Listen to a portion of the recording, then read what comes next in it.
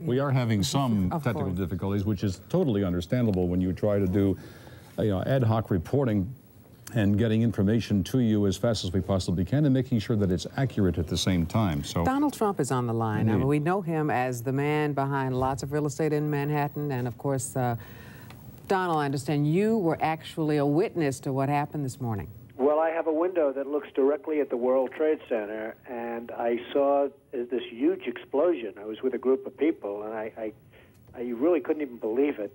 And even, I think, worse than that, for years I've looked right directly at the building. I'd see the Empire State Building in the foreground and the World Trade Center in the background, and now I'm looking at absolutely nothing. It's just gone, and it's just hard to believe. Donald Alan Marcus here. Uh, your building is, uh, the Trump Tower is uh, one of the uh, great tourist attractions uh, in the world. It's well known universally. Are you taking any uh, precautions there in light of what happened at the World Trade Center? Well, Alan, we've always had, as you know, very, very strong security, but there's very little you can do about planes crashing into a building. I mean, you look at Larry Silverstein, who's a terrific owner in New York and a very good friend of mine who I just called. I was very worried about him because I assume maybe he was in the building. He took possession of the building one week ago. As you know, he just bought the World Trade Center. Right. And uh, he was in his office and he was getting ready to move into the World Trade Center over the next two weeks. So when I just spoke to him, there's nothing you can do when people are going to be bombing planes at your building. Now, Donald- I guess maybe the world is going to be changing and maybe you're going to have F 16s flying all over the city, etc. But it's a pretty tough situation. Donald, uh, you have one of the landmark buildings down in the financial district, 40 Wall Street. Uh, did you have any damage, or did you know what, what's happened down there? Well, it was an amazing phone call I made. 40 Wall Street actually was the second tallest building in downtown Manhattan, and, and it was actually before the World Trade Center was the tallest. And then when they built the World Trade Center, it became known as the second tallest, and now it's the tallest. And I just spoke to my people, and they said it's the most unbelievable site. It's probably seven or eight blocks away from the World Trade Center, and yet Wall Street is littered with two feet of stone and brick and mortar and steel, and there are thousands of people walking over the the debris over the Brooklyn Bridge, where they're sending them out over the Brooklyn Bridge to Brooklyn, and then I guess they're going to have to figure out how to get home from there. But they have between a foot and two feet of debris uh, right in front of a building that's probably, you would say, Alan, six or seven blocks away. Donald, this is Rolland Smith. Uh, Hi, Rolland. You know, how, how you doing on this kind of day? You know, at some point, we're going to put all this behind us. And you, as a visionary, particularly in, uh, in New York real estate, what do you think that we ought to do as a city, as a people, uh, when all of this gets, when the mourning stops, when, when the dead are, are honored, and, uh, and we've found out what caused it and maybe corrected it?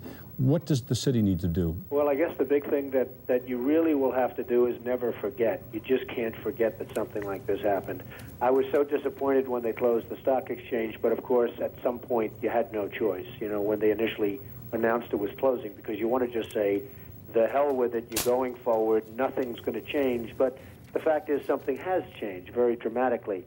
And I think one of the very sad things is going to be when you look at the skyline of New York, which has become so emblazoned in your own memory, and you look in, at the skyline of New York and you see these buildings, these two buildings, whether you love them or don't love them, they were a great part of the skyline. And then when you look at the skyline after 2001, and you're going to see a skyline without these two buildings, you're going to say, what happened? People won't believe it. You know, when you show your children or your grandchildren in years to come what New York looked like in the year 2000, and then what New York looked like just a year later, they're going to say, "What happened?" Hey, Donald, it- uh, in, the year in, in the year 2000, Donald, you considered running for president. If, if, if you had done that and if you had been successful, what do you think uh, you'd be doing right now? Well, I, I'd be taking a very, very tough line, Alan. I mean, uh, you know, most people feel they know uh, uh, at least approximately the group of people that did this and where they are. But um, boy, would you have to take a hard line on this. This just can't be tolerated, and it's got to be very, very stern. This is, as you and I were discussing before, Alan. This was probably worse than Pearl Harbor. Many more people are dead, and and you know they don't know, they have no idea, but. Uh, I have somebody that was down there who witnessed at least 10 people jumping out of the building from 70 and 80 stories up in the air. I mean, you probably have 25 or 30,000 is the number I've heard, but I would think would be much more than that. I think the most of the damage will be caused not by even in the building in terms of the people dead, but by the people on the streets from falling debris. Donald, you- you're probably the best known builder, uh, particularly of, of, of great buildings in the city. There's a great deal of question about whether or not the damage and, and the ultimate destruction of the buildings was caused by the airplanes, by architectural defect, or possibly by bombs or, or aftershocks. Do you have any thoughts on that? Well, it was an architectural defect. You know, the World Trade Center was always known as a very, very strong building. Don't forget, that took a big bomb in the basement. Now, the basement is the most vulnerable place because that's your foundation. And it withstood that. And I got to see that area about three or four days after it took place because one of my structural engineers actually took me for a tour because he did the building. And I said, I can't believe it. The building was standing solid and half of the columns were blown out. I mean, so this was an unbelievably powerful building. Uh, if you know anything about structure, it was one of the first buildings that was built from the outside. The steel, the reason the World Trade Center had such narrow windows is that in between all the windows, you had the steel on the outside. So you had the steel on the outside of the building. That's why when I first looked, and you had big, heavy I beams, when I first looked at it, I couldn't believe it because there was a hole in the steel. And this is steel that was, you remember the, the width of the windows in the World Trade Center, folks. I think you, you know, if you were ever up there, they were quite narrow. And in between was this heavy steel. I said, how could a plane, even a plane, even a 767 or 747 or whatever it might have been, how could it possibly go through the steel?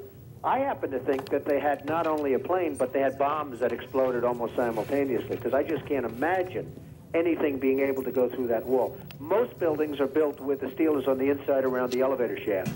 This one was built from the outside, which is the strongest structure you can have, and it was almost just like a uh, like a can of soup. You know, Donald, we were looking at pictures all morning long of that plane coming into uh, building number two, and when you see that uh, approach the the far side, and then all of a sudden, within a matter of a millisecond, the explosion pops out the other side. Right.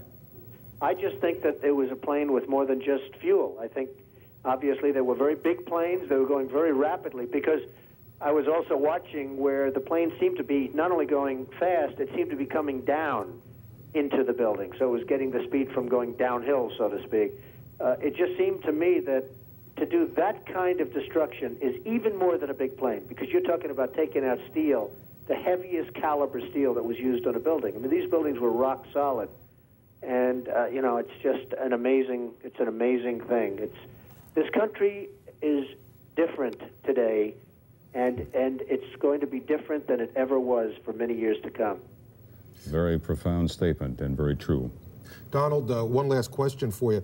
Uh, given the, the, the magnitude of, of, of, of how much of American commerce took place within the Twin Towers, what do you, as you're, an expert on this, what do you think is going to be the fallout over the next many, several weeks, months, and even years, given what we have lost uh, in terms of those buildings going down and, and all that was within it?